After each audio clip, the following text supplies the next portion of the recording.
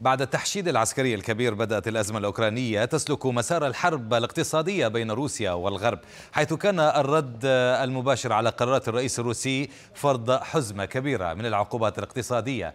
وأبرزها قرار المستشار الألماني أولاف شولتز بوقف العمل بخط غاز الشمال اثنين القادم من الغرب الروسي عبر بحر البلطيق والذي اكتمل مدة العام الماضي. اكتمل مده وتجهيزه ولكن لم يبدأ ضخ الغاز عبر هذا الخط بانتظار موافقة من الهيئات التنظيمية في ألمانيا والاتحاد الأوروبي والتي تم إرجاؤها للنصف الثاني من العام الحالي بسبب التوترات السياسية.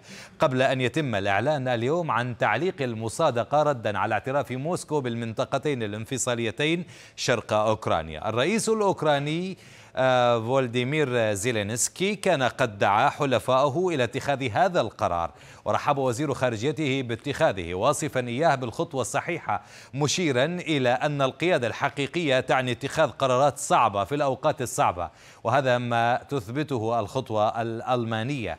كما أشادت به وزيرة الخارجية البريطانية ليز تروس التي دعت أوروبا إلى تقليل الاعتماد على الغاز الروسي وأكدت على ضرورة تحميل روسيا مسؤولية أفعالها التي قالت إنها ستقابل بتكاليف باهظة. وأكد المستشار النمساوي على أن المصادقة على خط الأنابيب سيتوقف وأن نورد ستريم 2 هو جزء من العقوبات المتوقعة. فيما كانت واشنطن قد هددت مرارا بأن خط أنابيب غاز الشمال لن يبدأ تشغيله إذا أقدمت موسكو على غزو أوكرانيا.